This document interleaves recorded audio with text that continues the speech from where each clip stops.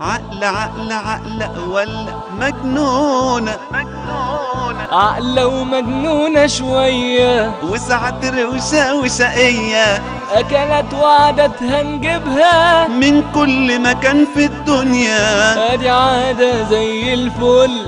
وأدي أكلة ست الكل. البس اشرب أو كل. وسيب الباقي عليا. عقل عقل عقل ولا مجنونة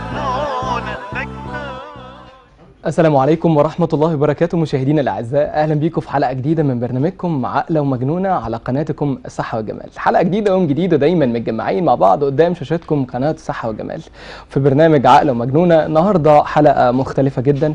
عايز أقول لكم زي ما أنتم متعودين واللي دايما بنقوله كل حلقة وفي بداية كل حلقة إن برنامج عقلة ومجنونة دعوة للتدبر ودعوة للتفكر ودعوة للسفر من جميع لجميع أنحاء العالم من خلال الشاشة الصغيرة اللي في بيتنا من خلال التلفزيون ومن خلال شاشتنا قناة الصحة والجمال.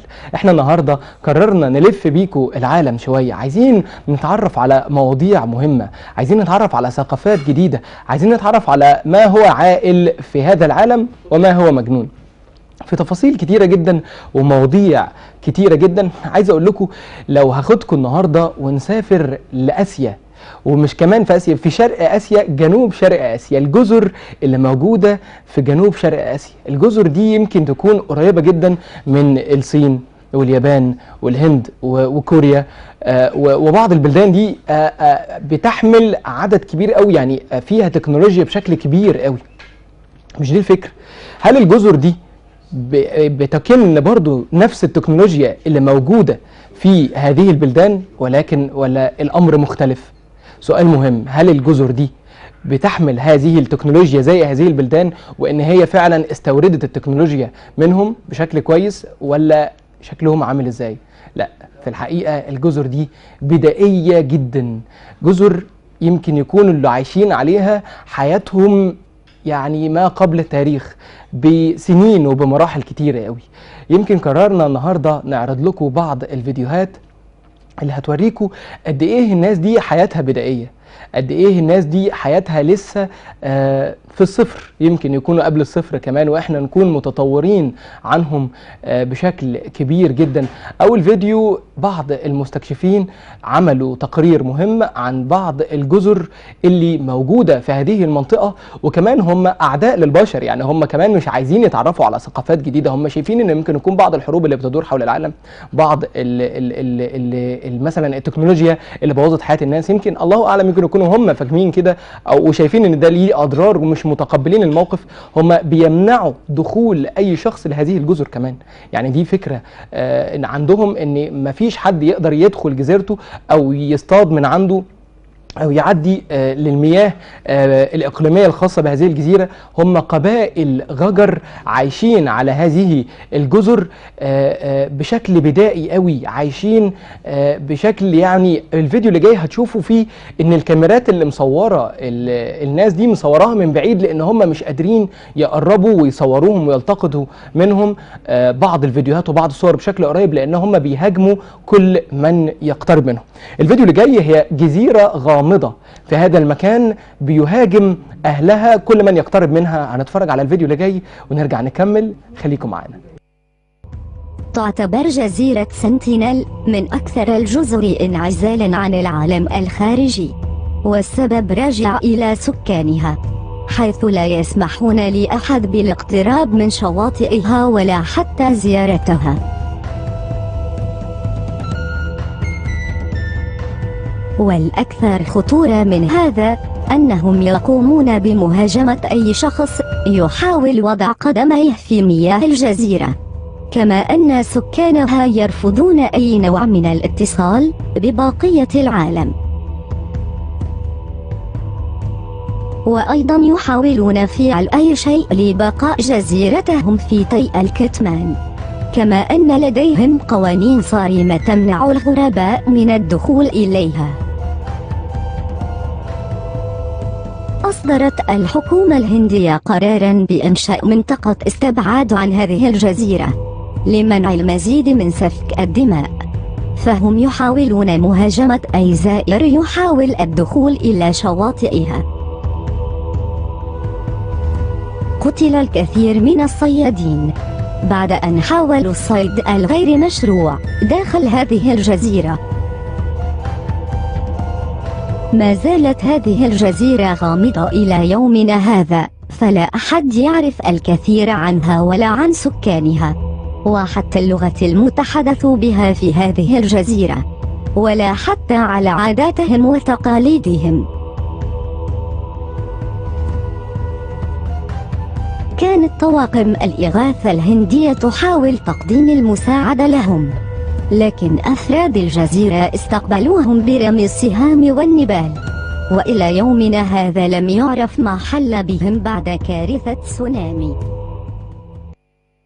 طبعا زي ما حضراتكم شفتوا يمكن بعض الصور كانت مبكسلة. لو حضراتكم أخدتوا بالكم من التقرير اللي فات ده بسبب إن الكاميرات مصورة من بعيد قوي من من من من بعد كبير قوي فظهرت الصور بهذه الشكل بهذا الشكل اللي حضراتكم شفتوه. دي بعض الجزر اللي عايشة بجانب البلدان اللي فيها أكبر تكنولوجيا في العالم وبتصدر أكبر تكنولوجيا في العالم زي الصين والهند وماليزيا وتايلاند واليابان وكوريا وبعض هذه البلاد. آه، الجزر دي كمان يمكن بعض المستكشفين قرر إن هو يدخل ال- اللي مسموح الدخول ليه ويشوف قد إيه الناس دي حياتها عايشة إزاي وبتاكل إزاي وبتشرب إزاي. فيمكن بعض الجزر اللي سمحت آه، آه، بدخول آه، الجزيرة اتعمل هناك تقرير مهم جدا هنتفرج عليه. التقرير ده هيثبت لك قد إيه الناس دي لما يعني انعزلت عن العالم عرفت إزاي تعيش بشكل متطور جدا بشكل هم شايفينه متطور بالنسبة لهم. يمكن هو هيبقى بدائي بالنسبة لنا بس لما هتتفرج على الفيديو اللي جاي وبعض الفيديوهات هتعرف قد إيه إن هم فعلا ابتدوا آه، يعني يكونوا آه، آه، أكثر خبرة في هذه الأمور من الصيد وبعض مثلا من بناء البيوت. هتتفرج على على الشكل ده هيعجبك قوي. النهارده حلقة مهمة جدا عن الناس البدائيين دي. هنتفرج على التقرير اللي جاي هتشوفوا الناس دي حياتها عاملة إزاي. ونرجع نكمل. خليكم معانا. عاش سكان قبيلة بجو. معظم حياتهم على القوارب يستخدمونها بشكل يومي للصيد الذي يعتبر المصدر الوحيد للرزق. هم قوم لا تعترف بهم الدول المجاورة ولا يعرفون أعمارهم ولا الكتابة ولا القراءة.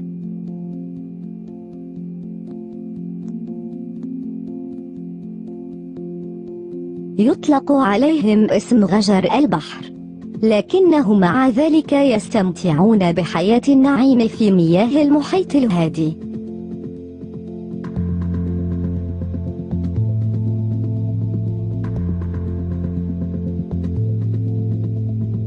يعيشون في قوارب صغيرة وأكواخ عائمة يكسبون قوتهم من خلال صيد الأسماك معتمدين على معارفهم الواسعة بالمحيط داخل جزيرة بورنيو. التي تعد ثالث أكبر جزيرة في العالم.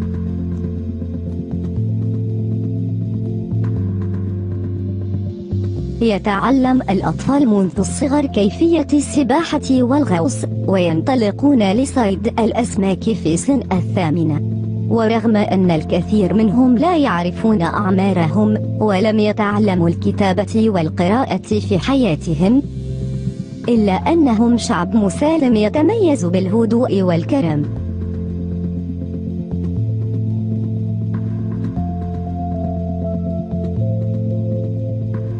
ويجمع سكان بجو بين ديانة الإسلام والأحيائية وهي الاعتقاد بوجود الأرواح. وكونهم يمارسون الغوص منذ الصغر فهم يعتبرون من أفضل الغواص. طبعا زي ما حضراتكم شفتوا يمكن دول قبائل آه، آه، أو غجر ال- ال- البحر. زي ما ده المصطلح الدارج في هذه المنطقة يمكن ده التقرير اللي اتصور عن حياة الناس دي. يمكن إحنا حاولنا نقرب نقرب نقرب نقرب لحد ما آه، هنبتدي نعرف الناس دي عايشة إزاي وبتبني بيوتها إزاي لأن هم ما عندهمش أي تكنولوجيا. يمكن حياتهم ضحلة جدا حياتهم بدائية جدا حياتهم لسه يعني ما تعرفوش على الواقع. في منهم ما يعرفش عمره قد إيه ما يعرفش هو عايش بقاله كام سنة. آه، آه، ما لهمش كينونة في العالم فقط غير إن هم عايشين على الصيد. اللي هم بيصطادوه من البحر. وموضوع الصيد ده موضوع كبير جدا لأن الفيديو اللي جاي هنتعرف إزاي هم بيصيدوا. آه، غير كده هم كمان آه، حياتهم آه، مسالمة. في البعض منهم مسالم وفي البعض منهم بيهاجم كل من يقترب منه. يمكن هم أشبه شوية ب ب ب بالعنف القديم اللي هو القبائل اللي كانت بتعيش في أفريقيا لأكل ح- لحوم البشر والناس اللي بتهاجم وفاكرين إن أي حد بيحاول يقترب منهم هو غزو خارجي. هي الحياة والفكر البدائي ده يمكن هو اللي آه، موصلهم لكده ولكن في البعض منهم اللي سمح بالدخول ليه وإنه تقدر آه، تتعرف على ثقافته زي آه، غجر البحر. موضوع غجر البحر ده كبير قوي بقى لأن غجر البحر دول حياتهم كلها في آه، قوارب مصدر رزقهم الوحيد هو الطعام عن طريق السمك. السمك ده بيصطادوه إزاي بقى؟ هل بيصطادوه بالشكل التقليدي اللي إحنا بنصطاد بيه إنك بتجيب سنارتك وبتنزل تصطاد ولا بيصطادوه عن طريق شبك ولا بيصطادوه إزاي؟ ولكن هي آلات بسيطة جدا للصيد وطرق غريبة جدا في الغوص.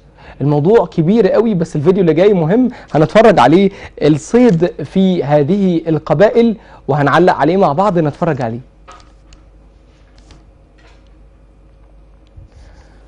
طبعا هو دلوقتي زي ما هو موضح قدام حضراتكم على الشاشة إن هو بي بيشوف آه، ال- الأسماك اللي تحت ال- البحر عاملة إزاي علشان ينزل آه، يصطاد منهم. يمكن يكون الآلة اللي هو ماسكها في إيده دي متطورة شوية آه، ولكن هو بيلتقط أنفاسه الأخيرة وهينزل.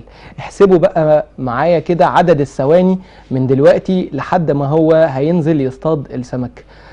هو طبعا بيغوص تحت سطح البحر بالشكل اللي حضراتكم شفتوه دلوقتي.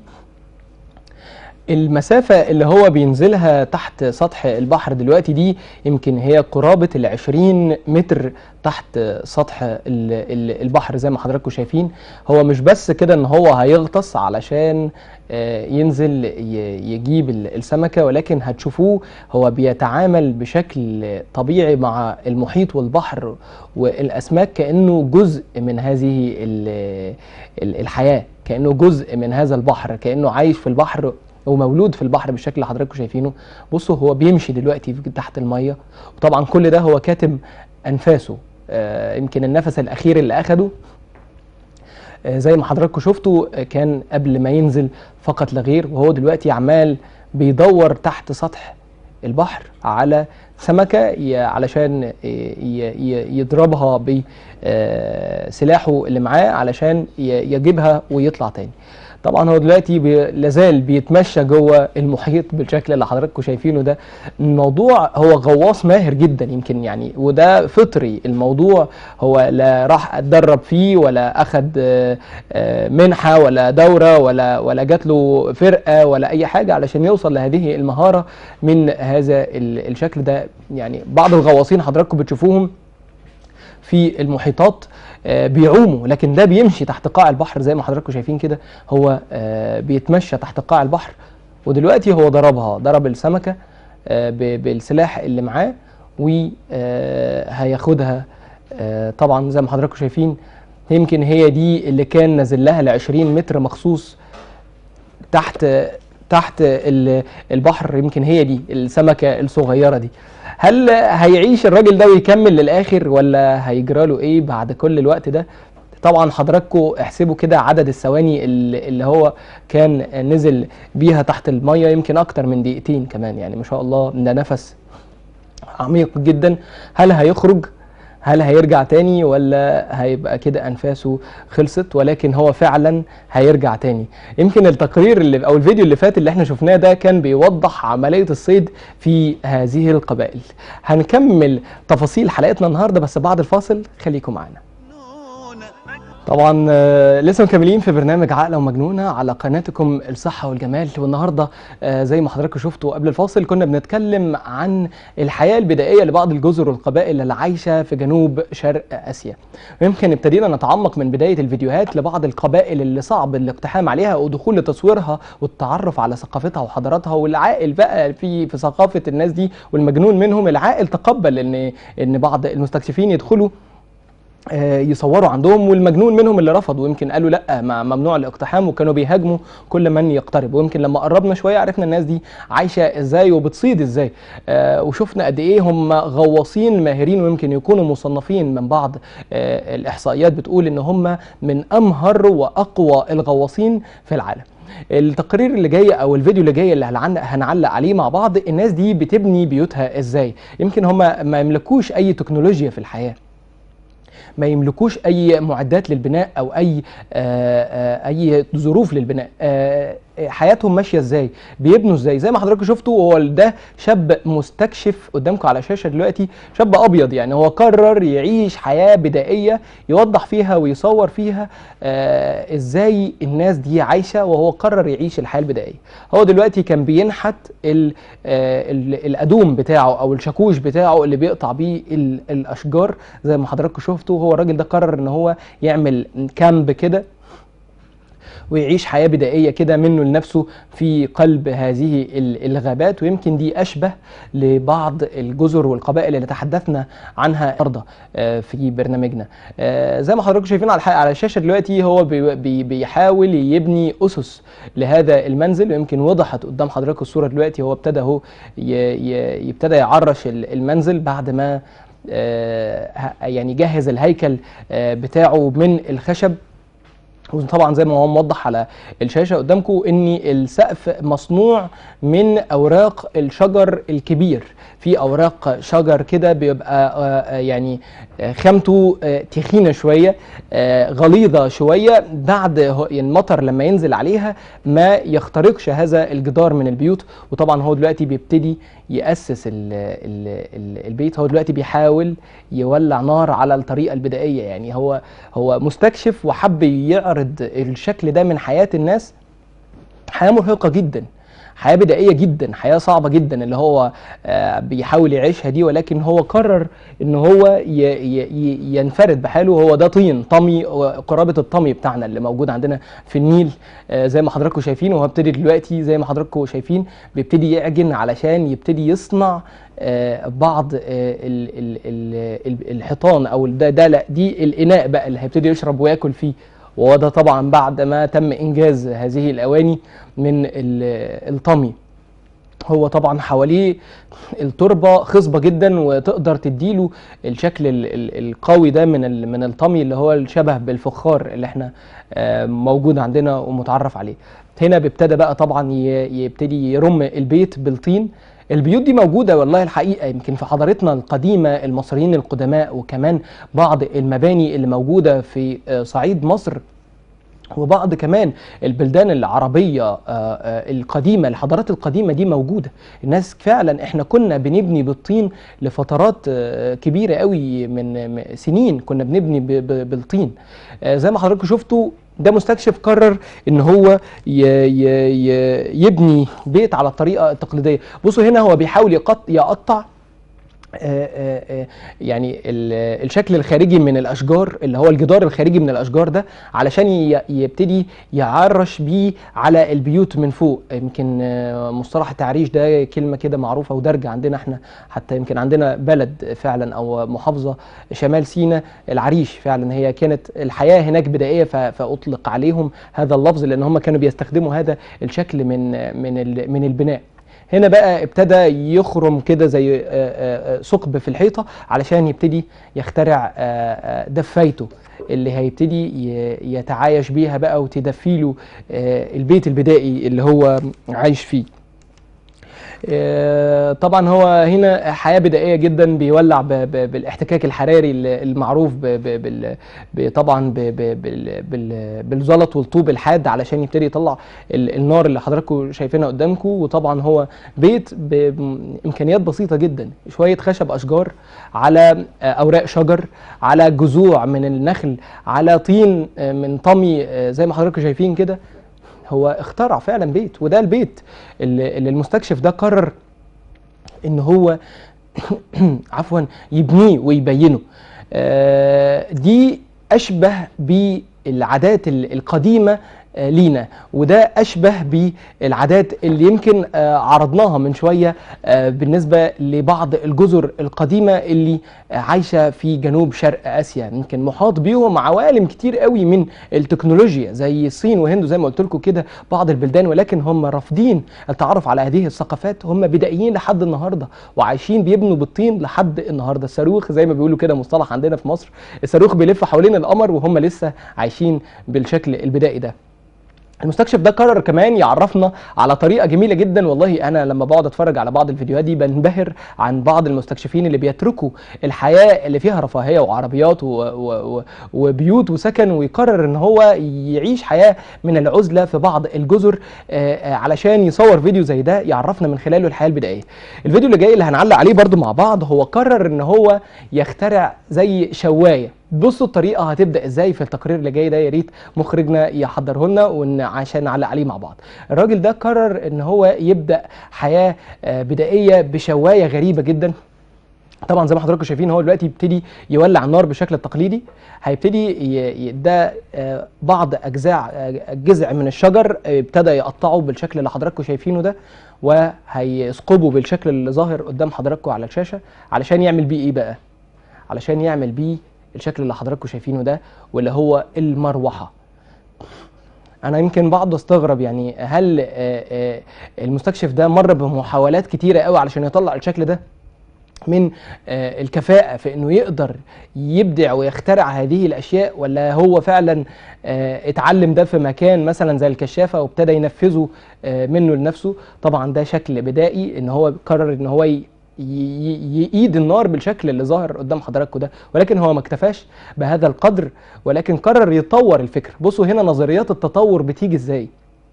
يعني إحنا تطورنا إزاي؟ تطورنا بالشكل ده. الموضوع كان بيهوي بيه بأي حاجة آه، بمروحة زي ما حضراتكم شفتوا ولكن هو قرر ان هو يعني يخترع شكل مختلف تاني للتهوية ويكثف التهوية في هذا المكان بشكل مختلف. طبعا آه، زي ما حضراتكم شفتوا كده هو عمل إناء شكله غريب آه، ظاهر قدام حضراتكم بعد ما تم حرقه وبقى بالشكل اللي حضراتكم شايفينه ده من الفخار. دي أول آه، تطور بعد المروحة اللي هو قرر يستغلها لإشعال هذه النيران. بصوا هو طبعا هنا كده الموضوع بقى شكله في حرفية شوية بقى الموضوع كده بروفيشنال زي ما بيقولوا كده متطور لحد ما. هل هيكتفي بهذا القدر من التطور؟ ولكن لا هو قرر يطور الفكرة بشكل أكبر تاني بشكل مختلف آه تاني. بصوا هيطور الفكرة بشكل مختلف إزاي؟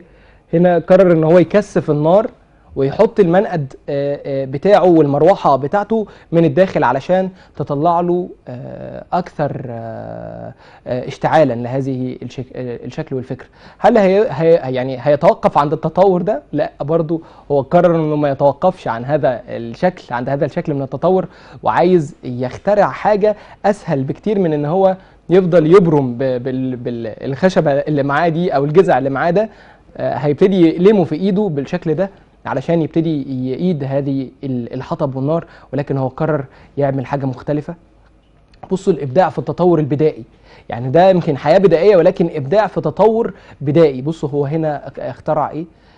ابتدى يحرك ال- الشكل ال- ال- المروحة بتاعته بالحبال دي. الحبال دي أصلا يمكن في بعض الفيديوهات ويمكن إن شاء الله نعرضها لكم في حلقات تانية. الحبال دي أصلا آه، بعض جذوع الأشجار آه، ابتدى يقطع منها.